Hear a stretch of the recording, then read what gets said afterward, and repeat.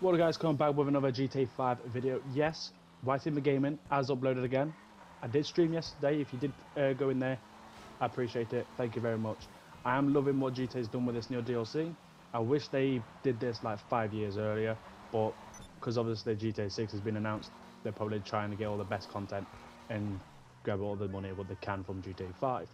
But would be nice if they did add drift kits on the police cars. Yes, this video is all eight cars what's called the drift kits. There's only one new one, and the seven are old. And I would say they're new, but they are old as well from the previous DLC. So, there is my opinion. They're all in order, what I like. Make sure you subscribe, like the video, and stay subscribed.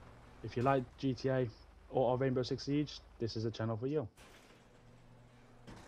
Now, we are in my garage with all the cars in certain orders, how I want them to be. This is obviously 1 to 8. The first one is my favourite. I would say actually there's two of my main favourites in this garage, and is the third and the fourth was actually quite decent to get a drift in. The Futo, I wouldn't say I was the three on the opposite side with the Futo and obviously Ken Block's cars. They are nice to drift, but the Futo is too slidey for me, and obviously Ken Block's cars especially the truck, it's not got much power for my liking. I wish they there's an upgrade where we can have a bit more horsepower in them cars. Where if you have a long corner, you can't really drift it for so long and that stuff. That's what I've experienced. Uh, but I'm not the best drifting person at all. The only time I played any game was got a drifting involved was actually Juice 2. That's the only time I've ever played drifting games. if you know what it is, comment down below. If you don't, then you're young. So these two are one of my favourites. Obviously, a lot of modifications for uh, the Ennis Remrus. I can't say the name. Please don't bully in the comments.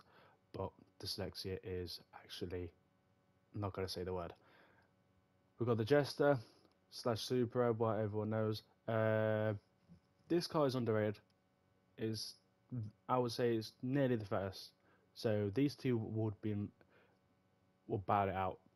I would say both of them are first place, but we only can have obviously one in first place, so it had to be the Ennis Remrus. I can't say the bloody name. And we've got obviously Dinka Jester, and we've got obviously the Euros. This is not the Euro, Euros, Ennis Euros. I'm saying the bloody Lambo truck, Jeep. This is one like the third best one, I would say.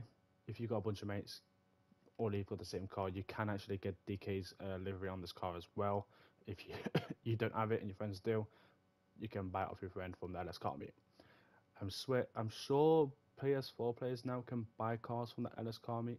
Uh, so if you can, just let me know in the comments.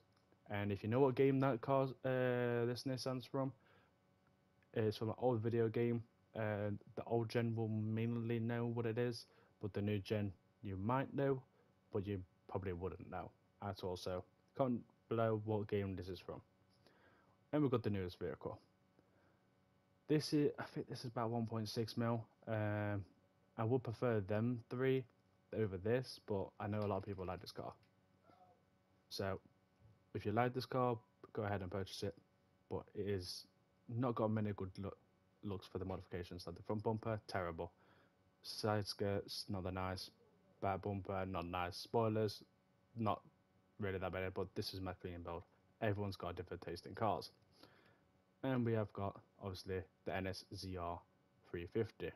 One of my favourite looking cars in real life, and one of my favourite looking cars in GTA. Everybody wants one of these. If you're a car person in the UK, mostly young lads will drive this car. One, it's decent drifting, but I prefer them a lot because they could keep the power and they got the speed. But this is nice as well. I would actually put this uh, near fourth or near the fifth slot. So this is like them. These two here is that pretty much in the same slot. They're both they're both nice to drift. These three though, I'm not a massive fan, especially this truck. Not much, not really that much power in the truck to keep uh, the corners going and keep drifting. The fruit, uh, the Fruto, uh, Karin Fruto GTX, it's just way too slidey. if you can handle it, you can handle it. Congratulations. It's got a lot of modifications. If you have it, you have it. This is one of my clean builds. I prefer it like this. So if you do like this kind of car, go ahead, purchase it. And we obviously got the Ken Blocks, RIP to him, one of the best legends. We so two legends have made it for the finish line. That's Paul Walker and obviously Ken Block.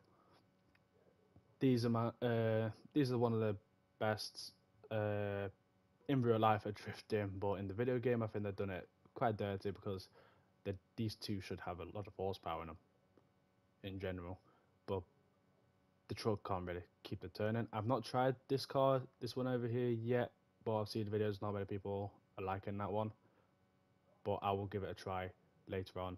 I'll type in a comment saying actually this vehicle, was it Drift Tampa, is actually better. So comment down below one to eight, which one is your favorite? Obviously, the eight and the seven just look the same, uh, but obviously the sixth, the fifth, and you got the fourth, third, and you got the second and first. But I'll have all the names of the vehicles on the screen. I'll have all the prices, plus it'll cost. I'll add it all up total for the car and the tuning, and the drift kit. So I'm not gonna add how much it costs you like with all the upgrades because no one knows how much it will cost you in general because my car is probably different to yours. So it'll just be the price the car and the tuning uh, drift kit on the side as well. Make sure to subscribe, like the video, comment down below what car is that video game from.